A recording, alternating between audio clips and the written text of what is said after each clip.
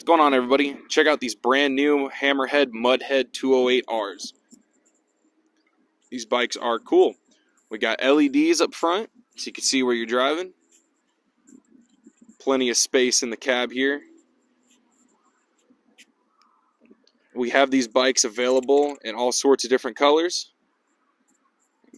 Got your sunshade up top. These things are cool. They get down. They're quick. Y'all come check us out, Jack Jackrabbit Off Road in Huntsville, Texas.